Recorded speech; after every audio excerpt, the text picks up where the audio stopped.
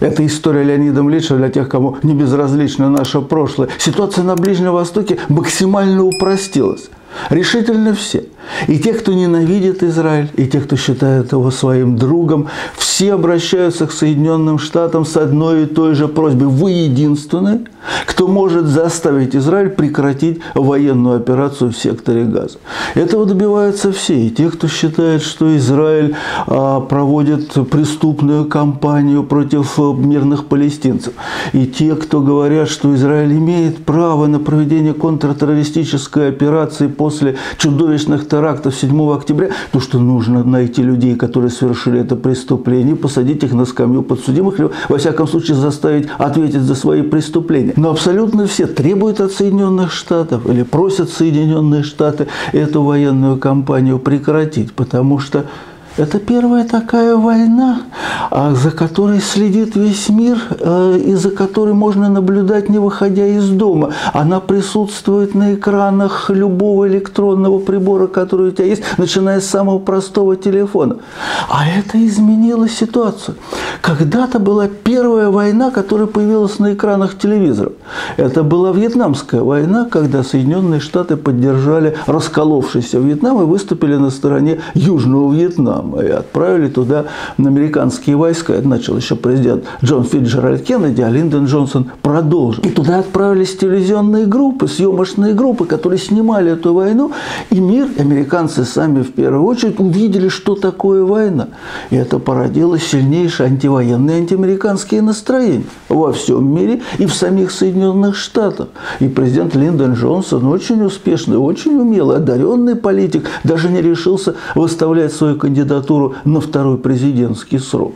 А сейчас прорыв технологический привел к тому, что абсолютно все видят, э, как происходит эта война. Это рождает бурные эмоции. И вот сейчас, повторяю еще раз, не только враги Израиля, но и друзья просят, от Соединенных, просят Соединенные Штаты эту войну прекратить. И европейские журналисты, которые, как и мы с вами, интересуются историей, даже вспоминают, что американцы на это способны. Вот, скажем, э, в британской прессе пишут о Ливане ливанской войне 1982 года и вспоминают, как тогдашний президент Соединенных Штатов Рональд Рейган позвонил тогдашнему премьер-министру Израиля Минахиму Бегину и сказал ему, что война приобретает кровавый характер, что речь идет об убийстве а, людей, и я требую, чтобы это прекратилось.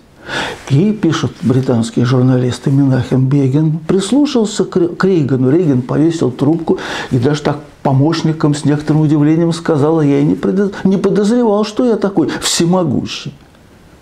На самом деле все было несколько иначе. Кампания 1982 года была следствием того, что палестинские боевые отряды оказались на территории Ливана. Как они туда попали? Их изгнали из Иордании. А потому что они подняли там мятеж, фактически пытались э, свергнуть тогдашнего иорданского короля Хусейна. Тот приказал своей армии выбить палестинские боевые отряды с территории Иордании. Они были выбиты, перебрались в Ливан, и ливанская жизнь разрушилась с территории Ливана.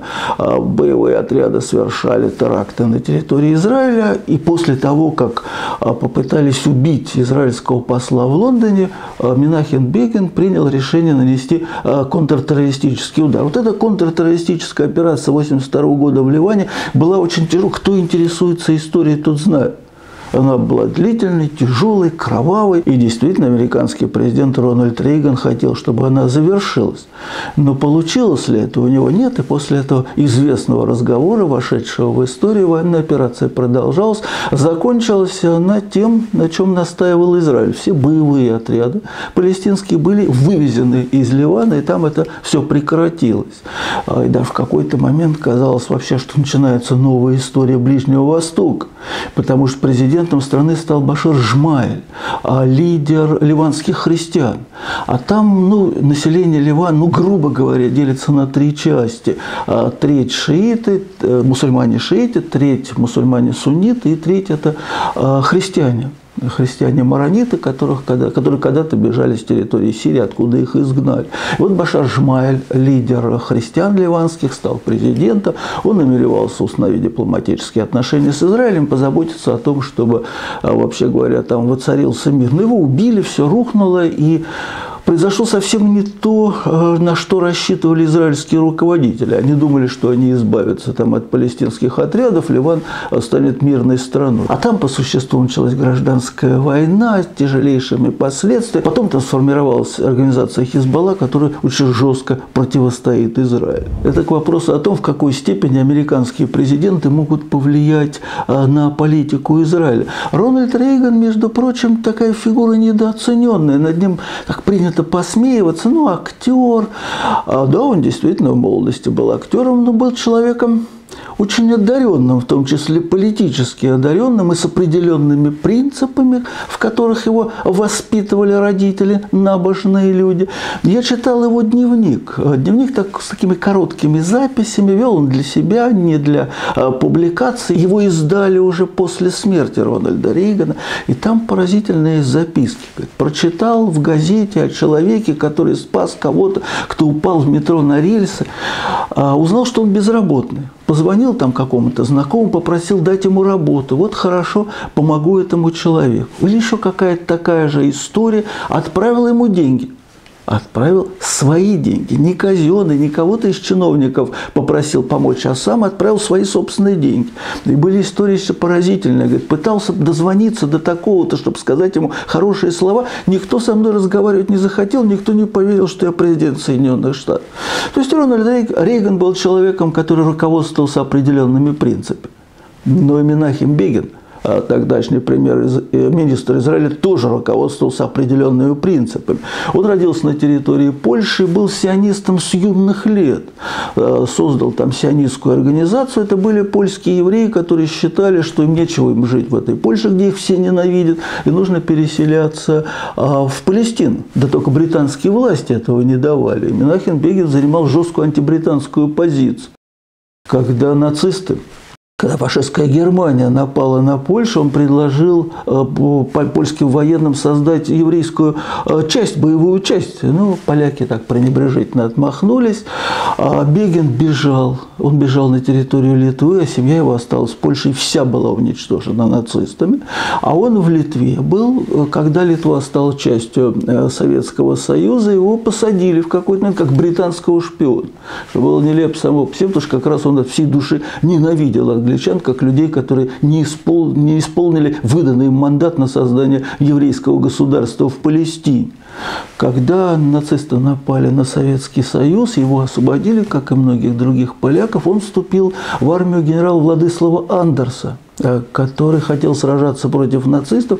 Армия эта была отправлена на Ближний Восток, и Менахим Бегин э, воевал против нацистов. Он занимал всегда очень э, жесткую позицию. Он исходил из того, что бессмысленно просить о помощи, жаловаться, плакать, нужно отстаивать свою правоту силой. И в качестве премьер-министра такой линии и придерживался. Что сейчас происходит вокруг сектора газа? К удивлению многих, кто наблюдает, наблюдает э, израильское правительство и командование армии обороны Израиля, похоже, действительно готовы исполнить свои слова. Они когда-то сказали после чудовищных терактов 7 октября, что э, доведут дело до конца, что все, террористы, все заложники, захваченные хамасовцами, будут освобождены, что террористы, которые совершили это преступление, будут найдены, и с террористическими структурами, которые совершили это преступление, будет покончено. Все думали, что ну, это операция до какого-то предела. Но она продолжается, и похоже, что в Иерусалиме намерены действительно довести ее до конца, несмотря на жесточайшее сопротивление действительно практически теперь уже всего мира.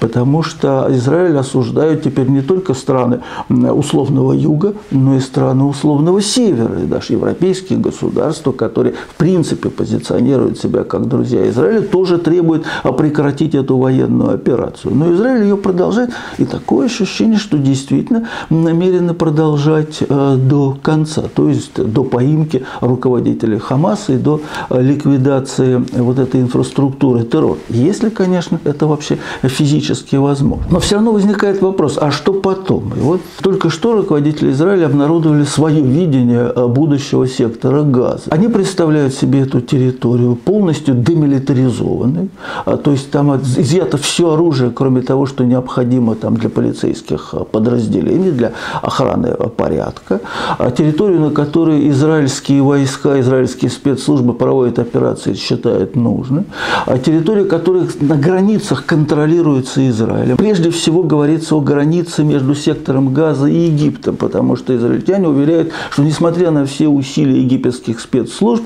вот именно таким образом э, в сектор Газа проникает оружие, взрывчатка и так далее. Большая обида для египетских властей, где власти находятся военные, которые уверены, что они мастерски исполняют свой профессиональный долг.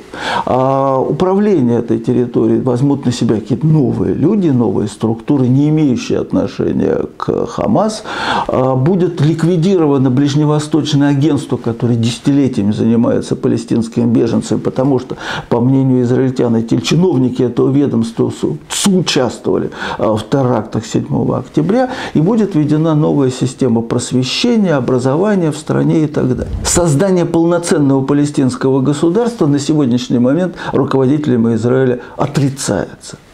Может ли такой план устроить соседние арабские страны? Трудно это предположить. А ведь без их соучастия, без их помощи, без э, их вложений не только финансовых, но таких политических, организационных, что-либо сделать э, совершенно невозможно. Устройство новой жизни на территории палестинской автономии и на западном берегу реки Иордан, и в секторе Газа, а возможно только с участием, деятельным участием соседних арабских стран, причем всех, там и Саудовской Аравии, и Египта, и Иордании, и Объединенных Арабских Эмиратов, и Катар должен поучаствовать, и Бахрейн. Все эти страны должны принять участие, иначе ничего не получится. Но их явно этот план совершенно не устраивает, потому что они, они должны сказать э, подданным или гражданам своих стран, что они исполнили главное главную их мечту, что создается независимое, самостоятельное государство палестинских арабов. Если это не происходит, то им нечего предъявить, они, скорее всего, этот план отвергнут. А, и все будут продолжать давить на Соединенные Штаты, требуя, чтобы Соединенные Штаты надавили на Израиль. Ну, в какой-то степени это происходит. Если вы внимательно следите, то слышите, что американские официальные чиновники осуждают то одно, то другое в политике Израиля, скажем, а, только что что государственный секретарь назвал новые поселения на западном берегу реки Иордан незаконными, отошел от той линии, которой придерживался президент Трамп. Дональд Трамп считал, что это все справедливо. А, и теперь, видимо, кто-то еще, с еще большей надеждой будет думать о, том, что, думать о том, что у Трампа есть шансы в ноябре выиграть президентские выборы.